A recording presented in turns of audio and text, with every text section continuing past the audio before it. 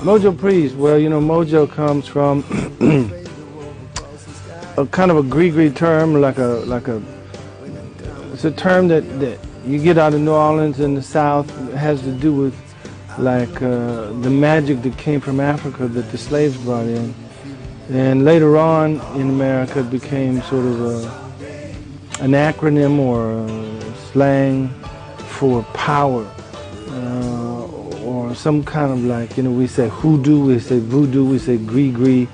Nothing to do with the old religion or magic. It just has to do with blues and that kind of swampy blues that came from Mississippi, Delta blues, Mississippi, Louisiana, stuff like that. And so Mojo Priest is kind of a nickname you know, that, that I had. And one of the nicknames that I thought was better than others having to do with the swampy music that we used to play and stuff like that.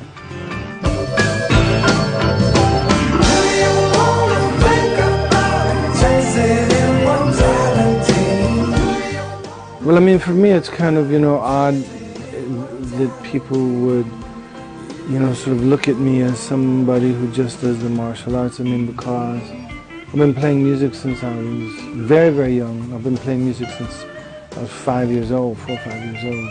I've been playing the blues for that long too. So music is my first love, and that's what I did first. And uh, I'm just, you know, at this stage in my life, kind of doing that all the time now. And uh, I've played all over the world in thousands of concerts and shows and uh, juke joints and clubs all over the world. I, I don't think anybody has ever had trouble with me playing and singing. You know, I think it's just sort of a natural thing. You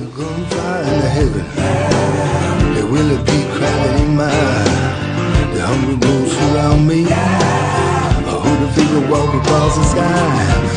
When the people see her, when the time of death near, I'll walk with my protectors. Some more things that we should see. A, lot of this, I think somebody was asking here.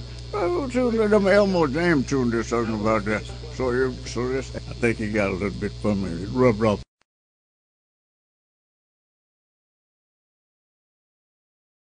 So give me a question.